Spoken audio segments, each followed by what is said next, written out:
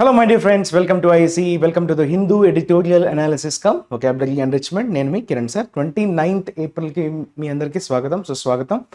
ఈరోజు మనం ట్వంటీ నైన్త్కి సంబంధించినటువంటి కంటెంట్ని చూడబోతున్నాం. So after a small gap like Sunday మన గ్యాప్ వచ్చింది కాబట్టి మొన్న సాటర్డే డిస్కస్ చేసినటువంటి అసైన్మెంట్ అలానే ఈరోజు మనం revision editorial vocabulary and assignment okay so let us start our session with assignment solution okay so ఒకసారి చూద్దాము. అసైన్మెంట్ సొల్యూషన్ ఇదే కదా? కొంచెం బ్లర్రీగా కనిపిస్తుంది. There is some issue with the output I guess right so చూడండి ఒకసారి. Is it visible okay paradoxical contradictory ఇవన్నీ ఆల్రెడీ మనం డిస్కస్ చేసాం కదా? ఓకే రివిజన్ ఓకే వెళ్ళి చూద్దాం ఒకసారి. ఓకే? రివిజన్ ఒక అయితే చూద్దాం ఒకసారి. సో వెరీ ఫస్ట్ వర్డ్ అన్నది మనకి ఏమి ఇచ్చాడంటే లాక్యునా అని ఇచ్చాడు. లాక్యునా అంటే మనం ఏమనుకున్నాం? So lacuna is basically negative noun negative కాంటెక్స్లో వాడే నౌన్ లాక్యునా అంటే ఏంటో? ఏమనుకున్నామా if there is a gap okay? ఒక గ్యాప్ని మనం ఉద్దేశించి వచ్చినటువంటి ఒక చిన్న గ్యాప్ని ఎక్కడెక్కడైతే గ్యాప్స్ వస్తాయో where you have to fill it okay? Gap అంటే అక్కడ ఇన్కన్సిస్టెన్సీస్ రైట్ అట్లాంటి వాటిని మనం ఏమంటాం అంటే లాక్యునా అంటాం. Okay so there is a gap అంటాం. అయితే గ్యాప్కి దగ్గరగా ఉన్న పదం ఇస్ హయాటస్ హయాటస్ అన్న గ్యాప్ అన్న same okay there is some bridge to be damage ఏదైతే ఉందో డ్యామేజ్ అనుకోవచ్చు లేదంటే ఫాల్ట్ అనొచ్చు దాన్ని మనం గ్యాప్ని ఫిల్ చేయాల్సినటువంటి అవసరం ఉండడం. ఓకే సో ఈ which is nothing but your hiatus అని కూడా చెప్పచ్చు. ఇస్ ఇట్ కరెక్ట్ హయాటస్ అని కూడా చెప్పచ్చు. డెఫిసిట్ అనొచ్చు షార్టేజ్ అనొచ్చు గ్యాప్ అనొచ్చు ఇవన్నీ కూడా similar words deficit shortage or gap clear next irremediable ఇది చూసారా? రెమిడియబుల్ ఏబిఎల్ఈ కాబట్టి ఇది యాడ్జెక్టివ్ అది ఇర్రెమిడియబుల్ అంటున్నాడు. అంటే నెగిటివ్ కాంటెక్స్లో వాడాలి. ఎందుకంటే రెమిడియబుల్ అన్నది పాజిటివ్ కాంటెక్స్లో వాడతాం కాబట్టి irremediable will be in negative context అంటే దేనికైనా మందు ఉండడం. సొల్యూషన్ ఉండడం దట్ ఈస్ రెమెడియబుల్ రెమెడీ అనే పదం మీకు తెలుసు. సో రెమెడియబుల్ అంటే which has some solution or some medicine kind of right some relief which can bring some relief to a problem that is remediable so irremediable means which you cannot find any solution to that problem so see see here the word reparable irreparable reparable అంటే మళ్ళీ కూడా దేనికైనా solution ఉండడం repair కదా? Irreparable which you cannot repair so C will be the appropriate సినోనిమ్గా మనం చెప్పుకోవచ్చు. అంతేనా? C will be your appropriate synonym incurable అనొచ్చు. ఇర్రికవరబుల్ చూసారా? ఇవి కూడా దగ్గరగా ఉండే పదాలు. ఇన్క్యూరబుల్ తర్వాత ఇర్రికవరబుల్ ఇర్రికవరబుల్ కదా? ఇవన్నీ కూడా దగ్గరగా ఉండే పదాలు. నెక్స్ట్ రీపోజ్ రీపోజ్ ఫెయిత్ అంటాం కదా? వారి పట్ల నమ్మకాన్ని ఉంచటం. ఉంచటాన్ని రీపోజ్ అంటాం. ఉంచడం అంటే రెస్ట్ ఉన్న ఆప్షన్స్లో ఎఫ్ రెస్ట్ లై వారి పట్ల విశ్వాసాన్ని ఉంచటం ఉంచటం repose repose the faith okay తర్వాత నెగేట్ నెగేట్ అనేది నల్లిఫై చేయడం. ఓకే దేనైనా ఇన్వాలిడేట్ చేయడం.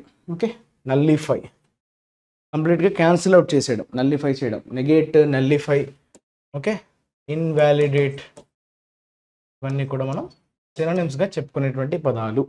Nullify invalidate or the words related to your negate. Is that correct amma? Invalidate అని చెప్పొచ్చు. ఓకే నెక్స్ట్ అసెప్టైన్ ఇది కూడా వర్బే అసెప్టైన్ అంటే చెక్ చేసుకోవడం వెరిఫై చేసుకోవడం అనే సెన్స్లో వాడతాం.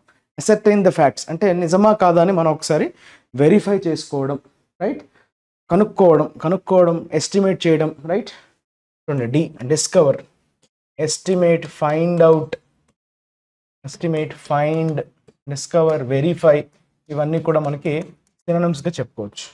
తర్వాత ఇండిస్పెన్సిబుల్ ఇందాక మనం చెప్పుకున్నాం ఇది ఎడిటోరియల్లో డిస్కస్ చేసేటప్పుడు. బేసిక్గా ఇది అడ్జెక్టివ్ డిస్పెన్సిబుల్ అంటే మనకి ఇంకా అవసరం లేదని పడేయటం. That is basically dispensable dispensable bottles అని డిస్పెన్సిబుల్ క్లాత్స్ అని రైట్ డిస్పెన్సిబుల్ గ్లాసెస్ ఉంటాయి కదా యూస్ చేస్తుంటాం మనం. So dispensable means which cannot be which can be dispensed dispensed అంటే వాటిని అవసరం తీరిపోయాక దాన్ని పడేయవచ్చు రీయూజ్ చేసుకోలేం.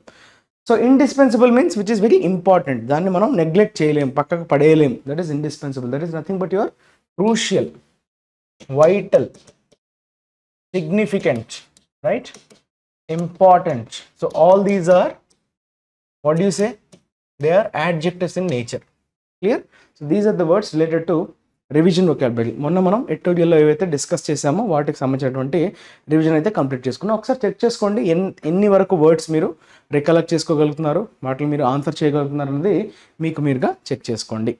Clear next let is move on to next section that is nothing but your today's editorial that is turn out and tropes అనేటువంటి ఒక టైటిల్తో మనకి ఈరోజు ఎడిటోరియల్ అయితే కనిపిస్తుంది. టర్న్ అవుట్ అంటే ఏంటమ్మా? బేసిక్గా ఎంతమంది టర్న్ అవుట్ అంటే ఇప్పుడు ఏదైనా ఈవెంట్కి ఓకే ఈవెంట్ కావచ్చు ఒక ప్రాసెస్కి కావచ్చు సంబంధించి ఎంతమంది జనాలు హాజరయ్యారు? ఓకే ఆ నంబర్ని మనం టర్న్ అవుట్ అంటాం. ఓకే టర్న్ అవుట్ అంటే ఇక్కడ మనకి బేసిక్గా ఎలక్షన్ సెకండ్ ఫేజ్ నేపథ్యంలో ఎంతమంది వచ్చారు ఎంతమంది ఎలక్షన్స్లో పార్టిసిపేట్ చేశారు అనే సందర్భంలో వాడినటువంటి పదం ఇది turn out and tropes tropes అంటే బేసిక్గా ఎలాంటిదంటే అంటే మిమ్మల్ని ఉత్తేజిత పరిచేటువంటి వ్యాఖ్యలు చేయడం. That is tropes right that is like what we say మనకు కొన్ని పదాలు ఉంటాయి. ఫిగర్స్ ఆఫ్ స్పీచ్ అని అంటాం. పన్స్ అని మెటాఫోర్స్ అని సిమిలీస్ అని అలాంటి అలాంటిదే ట్రోప్స్ కూడా. అంటే ఒక పవర్ఫుల్ ఇమేజ్ని క్రియేట్ చేసే ఓకే పనిలో ఉండడం. Okay or trying to create a powerful image మీ యొక్క ఇమేజ్ని పవర్ఫుల్ ఇమేజ్గా మీరు చూపించే ప్రయత్నం చేయడాన్ని ట్రోప్స్ అని మనం అంటాం.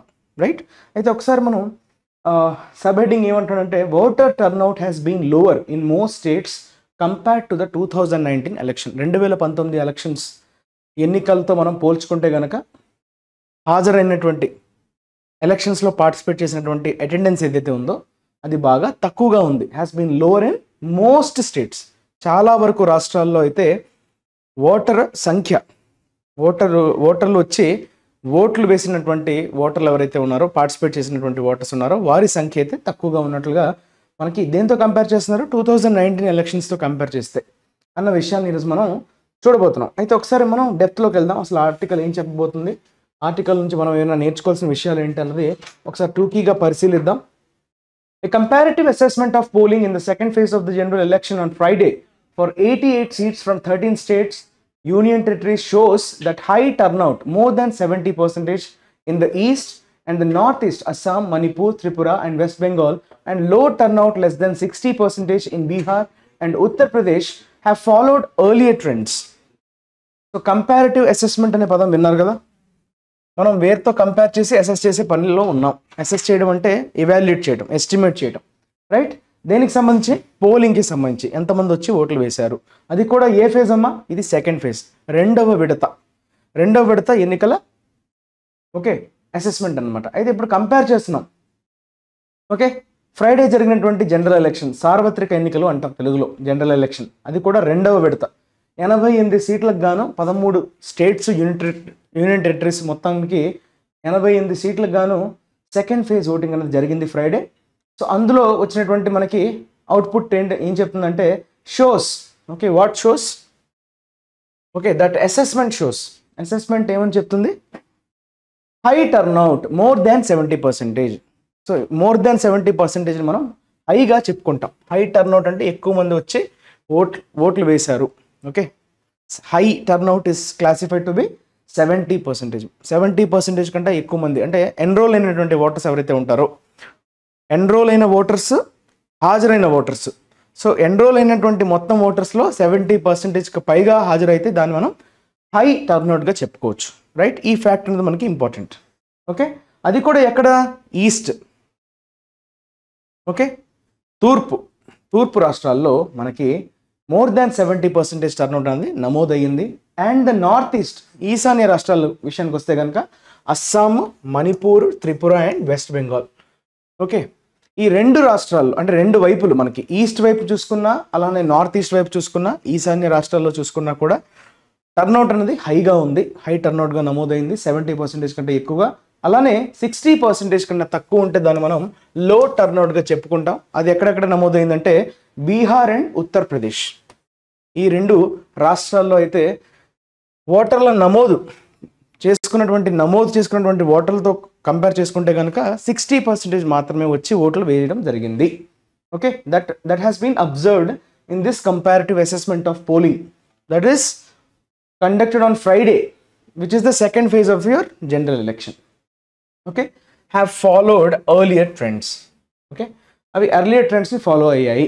The turn out seems to be lower in Kerala Madhya Pradesh Maharashtra and Rajasthan too but any parsing of the reasons should wait for comprehensive post poll surveys so turn out ఇక్కడ కూడా కేరళలో మధ్యప్రదేశ్లో మహారాష్ట్రలో అలానే రాజస్థాన్ ఇక్కడ కూడా టర్న్అవుట్ అంటే వచ్చిన వారి సంఖ్య.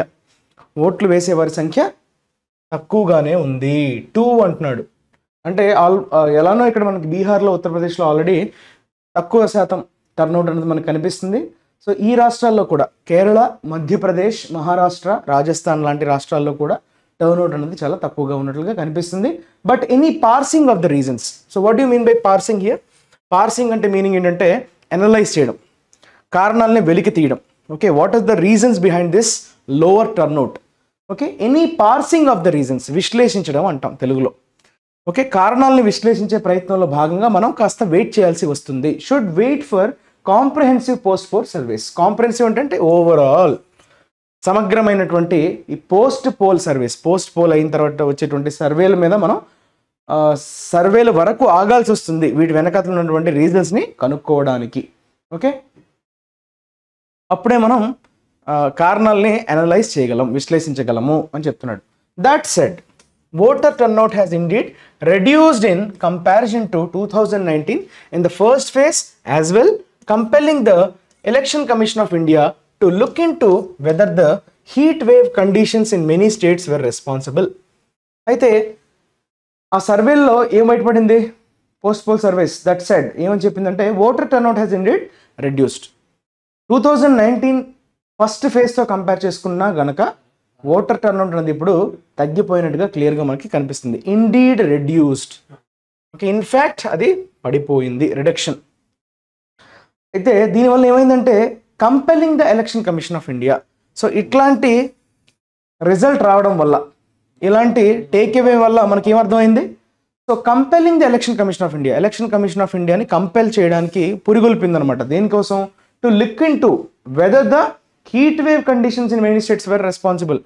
ఒకవేళ హీట్ వేవ్ కండిషన్స్ వల్ల చాలా రాష్ట్రాల్లో హీట్ వేవ్ కండిషన్స్ అనేవి సివియర్గా ఉండడం వల్ల ఇవేమైనా contribute చేశాయా?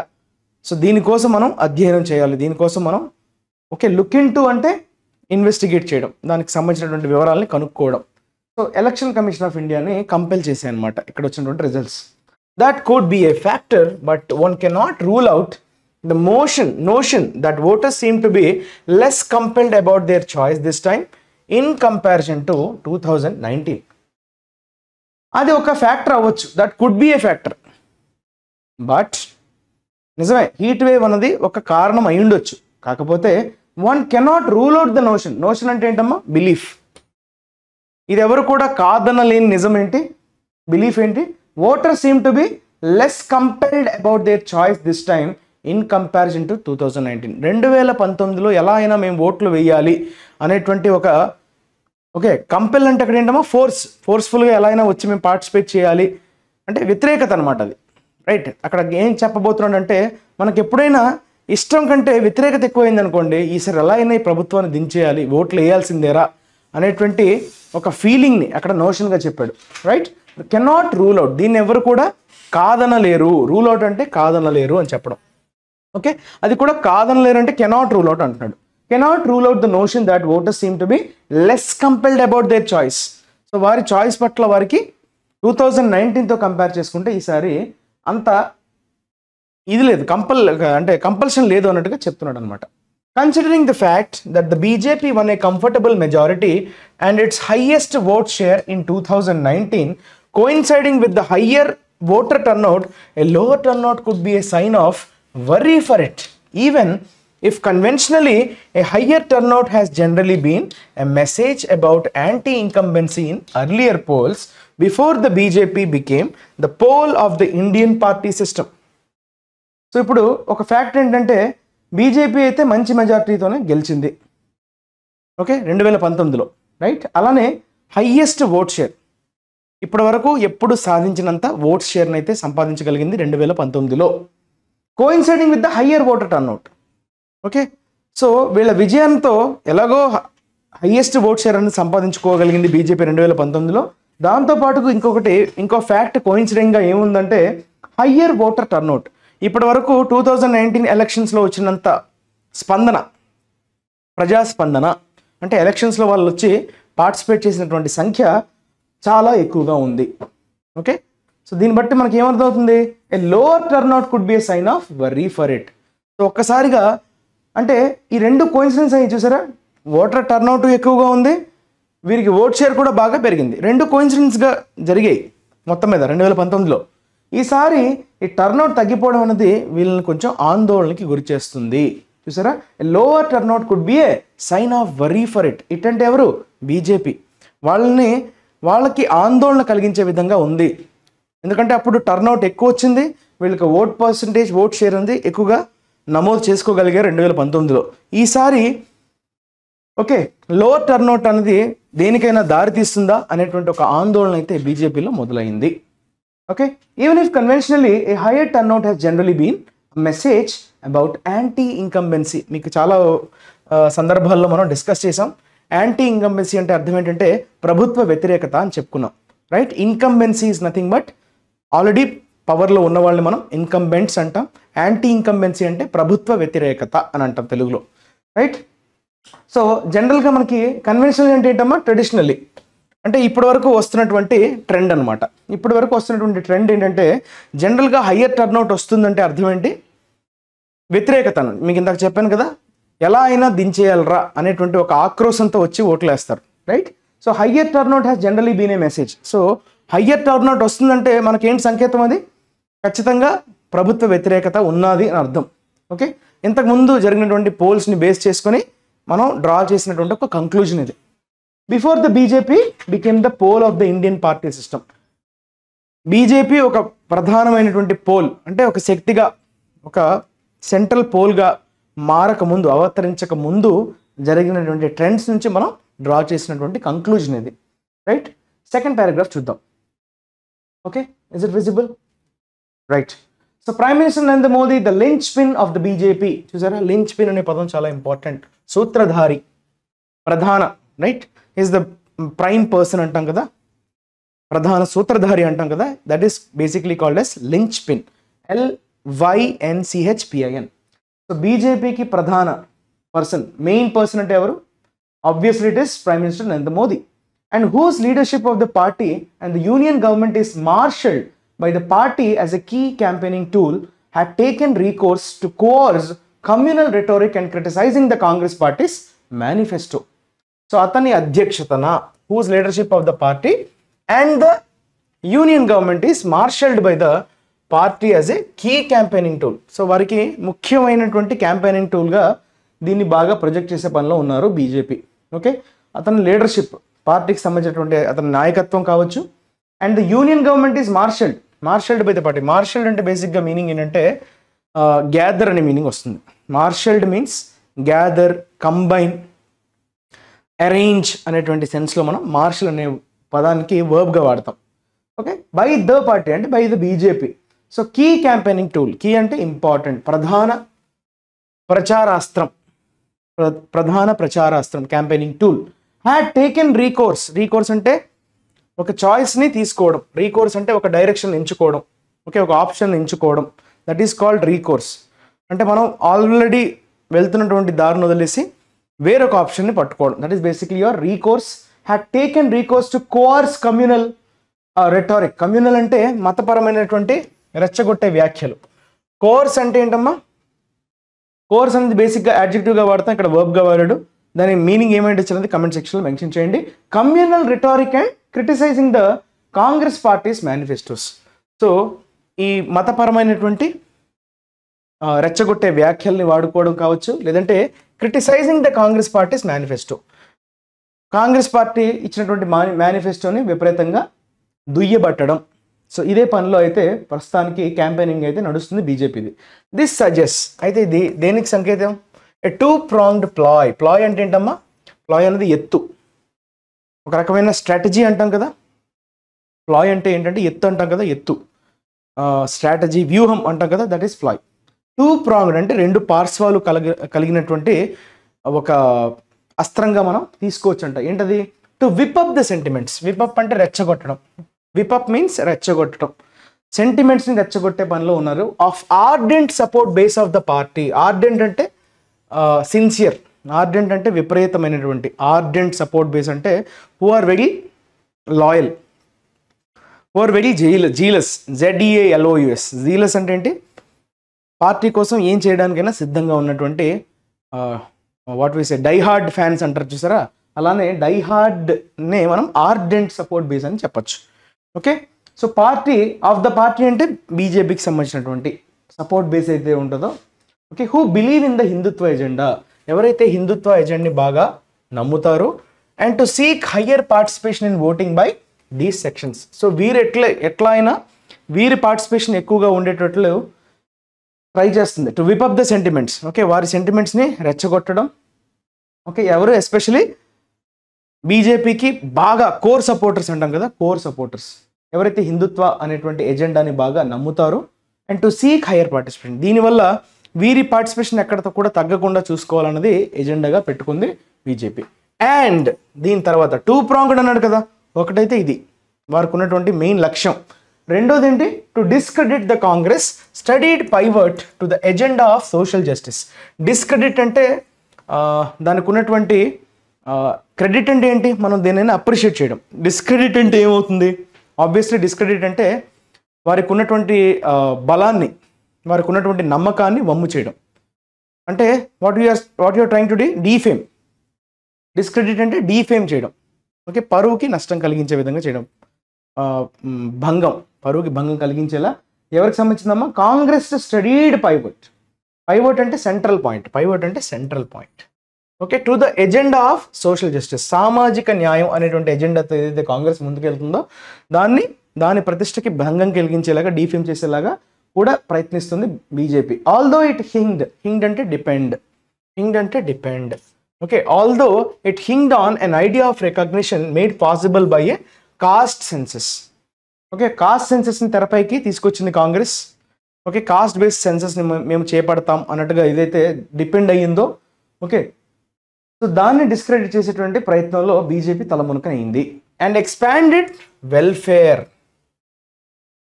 and expanded welfare through neo Keynesian policies neo Keynesian policies అంటే neo neo is basically new అమ్మ.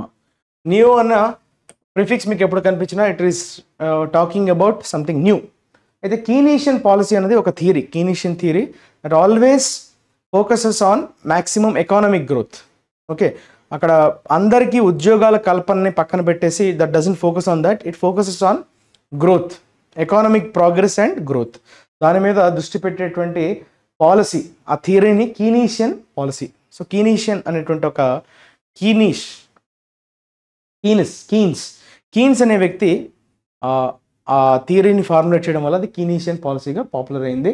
So expanded welfare the Congress so దాన్ని వెల్ఫేర్ అంటే మీకు తెలుసు కదా సంక్షేమాన్ని మరింత విస్తరించడం.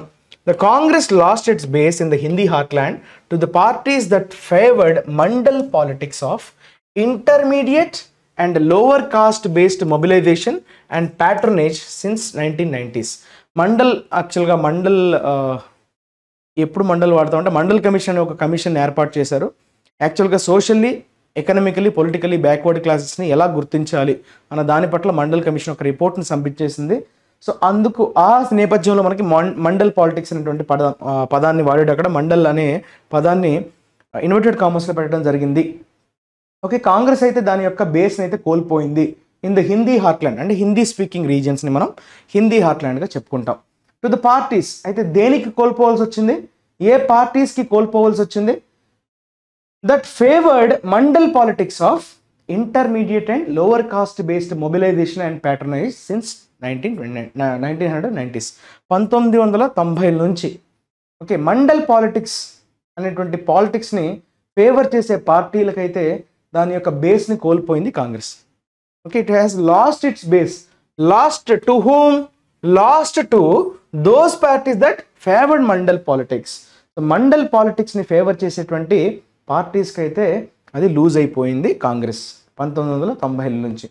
Okay lower caste base mobilisation and patronage patronage అంటే వారిని ఉద్ధరించడం. వారికి ఒక ఎంకరేజ్మెంట్ ఇవ్వడం. ప్యాటర్నేజ్ అంటే ఏంటి? వారిని ఎంకరేజ్ చేయడాన్ని మనం యూజువల్గా ప్యాటర్నేజ్ అనే పదంతో చెప్తాం.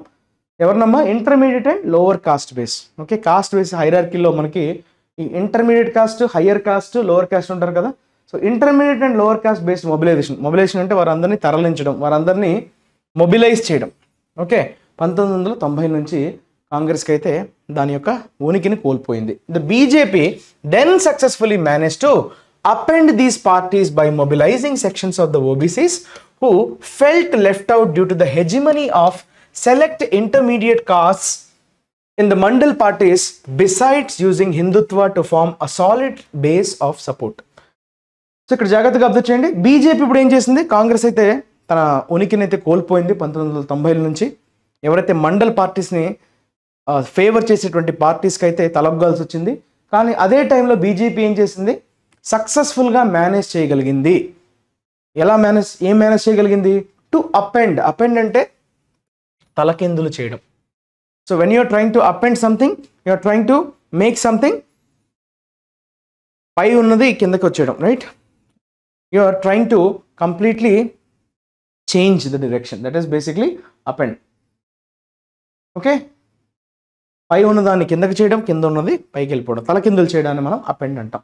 సో దీస్ పార్టీస్ ఈ పార్టీలని కంప్లీట్గా తలకిందులు చేసేసింది BJP. By mobilising sections of the OBCs ఓబీసీస్ని target చేసింది బీజేపీ మొబిలైజ్ చేయడం అంటే వారందరినీ వారందరి మద్దతుని కూడగట్టే ప్రయత్నం చేసింది.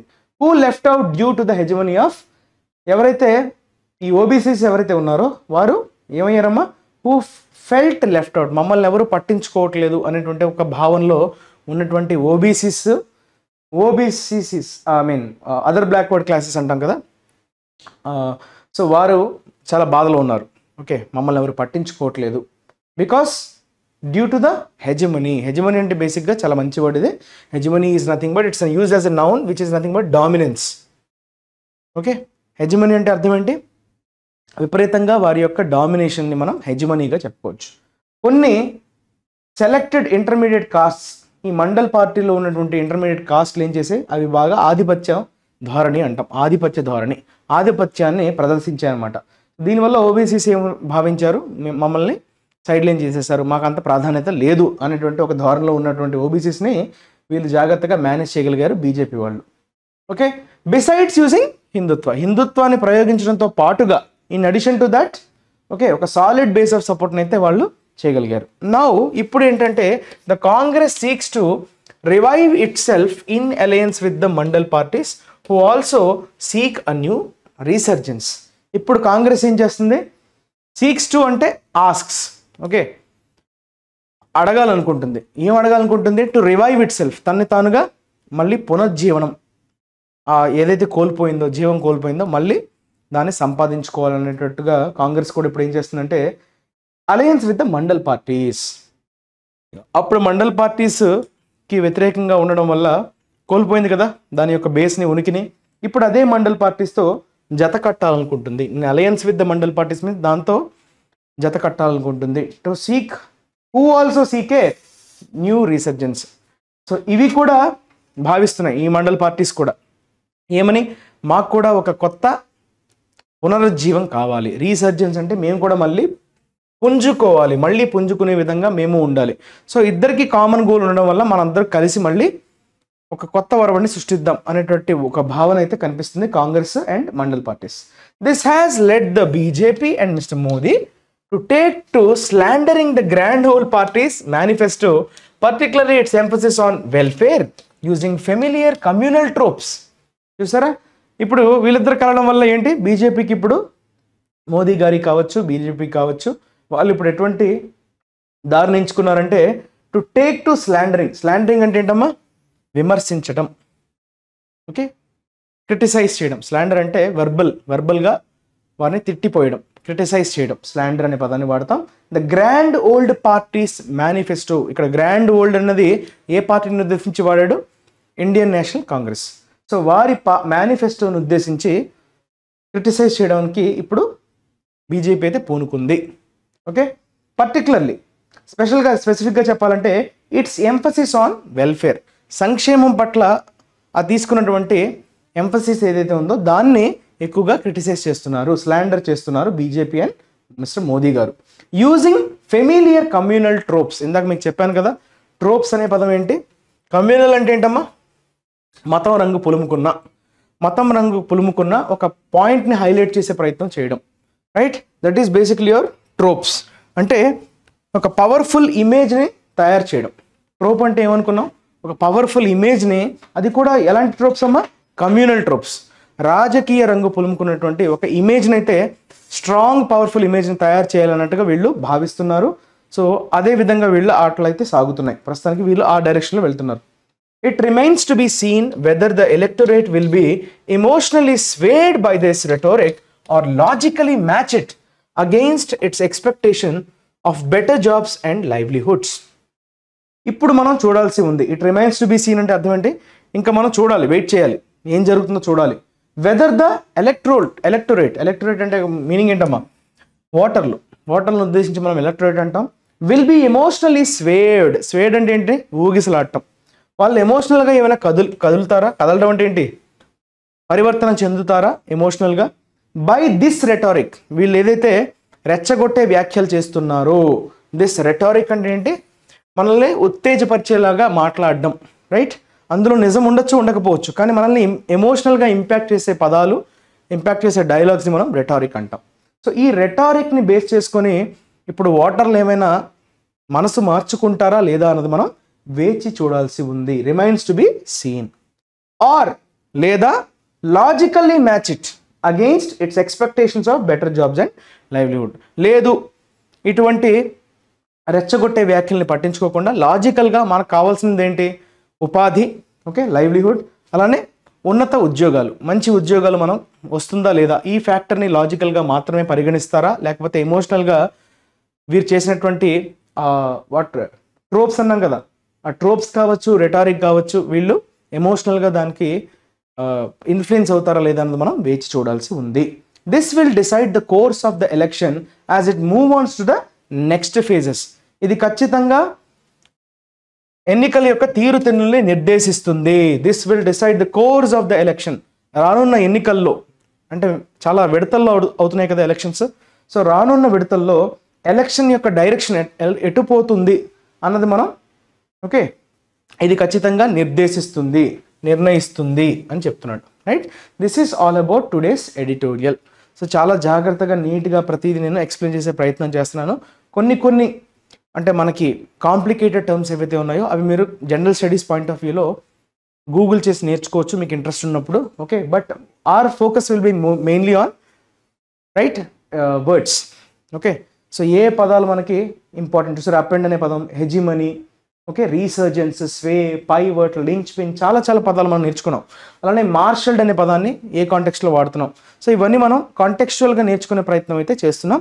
సో uh, ఎక్కడైనా థియరిటికల్ పాయింట్స్ ఏమైనా మిస్ అయినట్లయితే మీరు అది కామెంట్ సెక్షన్లో మెన్షన్ చేయొచ్చు. లేదంటే యూ కెన్ గో త్రూ గూగుల్లో మీరు నేర్చుకొని ఇంకా అంటే కన్సెప్చువల్ క్లారిటీ కోసం మీరు మరింత చేయొచ్చు.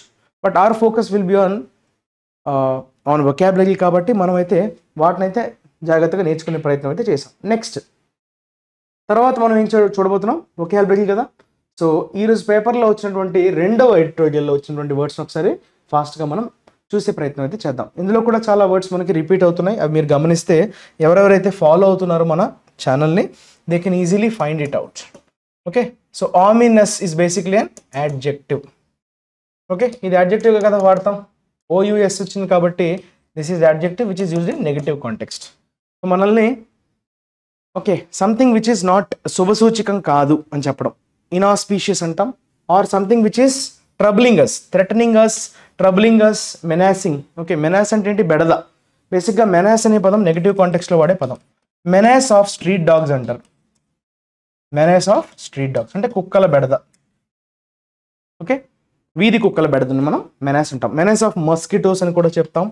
మెనాస్ ఆఫ్ మస్కిటోస్ అంటే వాటి బెడదను ఉద్దేశించి మనం మెనాస్ అనే పదంతో చెప్తాం. This is a noun okay so menacing something is menacing threatening ఇవన్నీ negative words inauspicious suggesting that something unpleasant is likely to happen ఏదో ఒక కీడు జరగబోతుంది అనేటువంటి ఒక సూచన. That is basically your ominous auspicious is the opposite of ominous the engine had been making an ominous sound అంటే something negative okay all the way from my parents house వచ్చినప్పటి నుంచి ఏదో ఒక కీడు జరగబోతుంది అన్నట్లుగా సౌండ్ అయితే వస్తుందని చెప్తున్నాడు.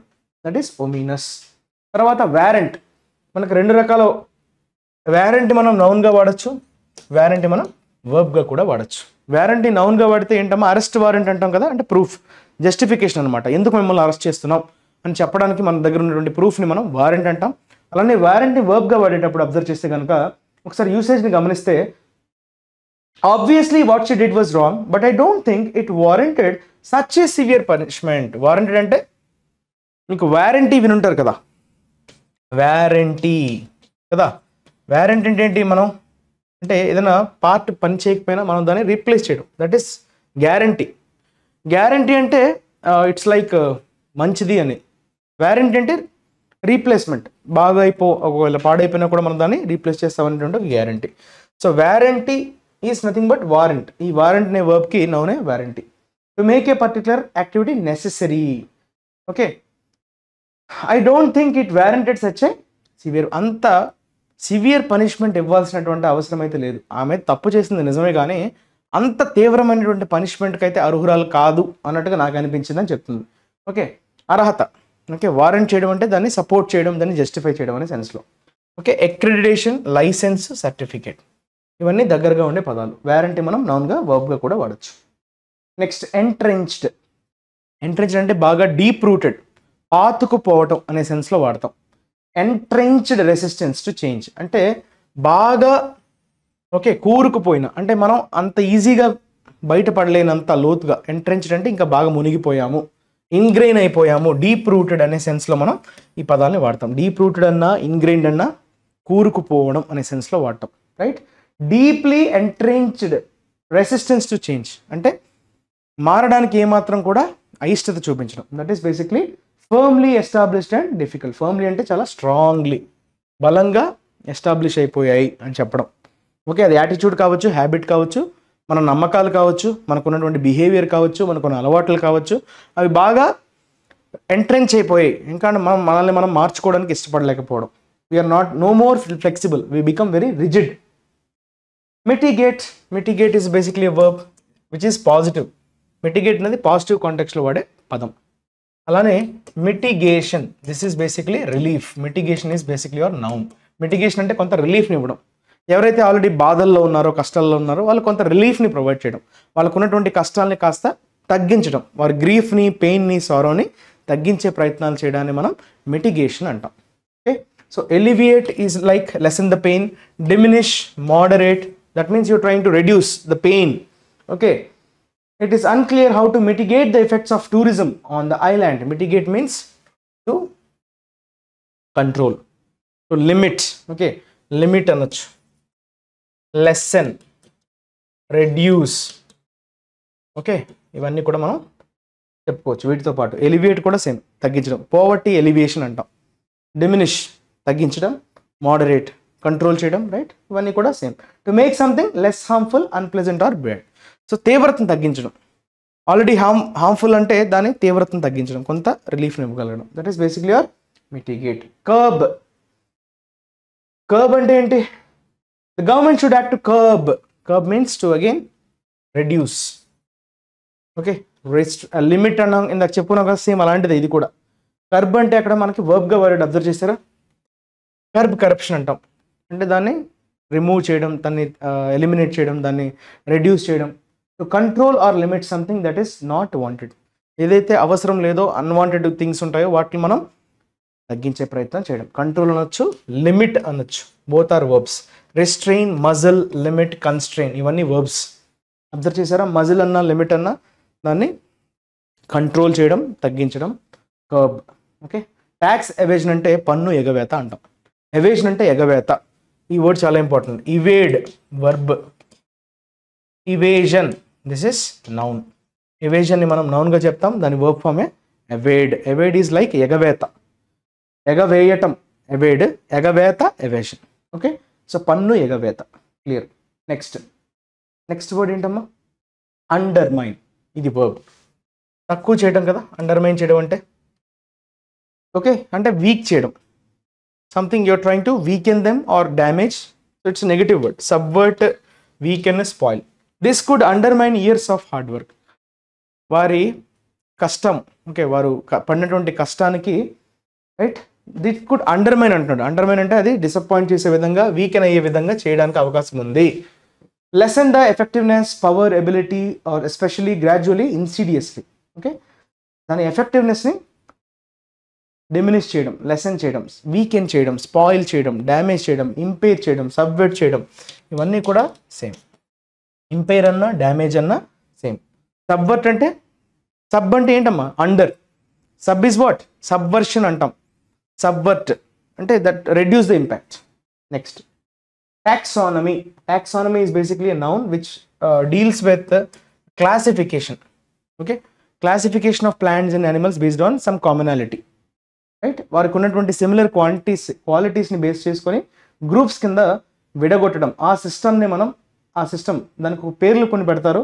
అలానే ఆర్గనైజ్ చేస్తారు. Especially plants and animals into groups that share similar qualities similar qualities అంటే సిమిలర్ క్వాలిటీస్ ఉన్నటువంటి వాటిలన్నింటినీ ఒక గ్రూప్లోకి విభజించి చదివే ప్రక్రియని మనం టెక్సానమీ అంటాం. Green taxonomy is a framework to assess the sustainability credentials and possible ranking of an economic activity okay this is basically your green taxonomy అని అంటారంట. దీనికి సంబంధించినటువంటి ఒక డెఫినేషన్ ఇచ్చాడు. దాన్ని మనం యూసేజ్గా చూసుకోవచ్చు. ఓకే ఫ్రేమ్ వర్క్ అంటే ఒక వ్యవస్థాగత ఏర్పాటుని మనం ఫ్రేమ్ వర్క్ అంటాం.